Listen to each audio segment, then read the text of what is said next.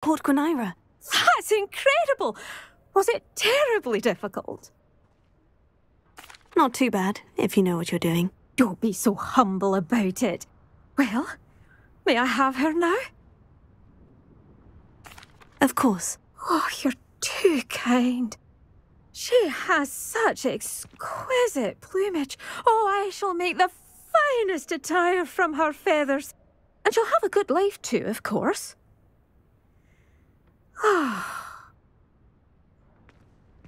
Thank you so much for bringing me Gwyneira.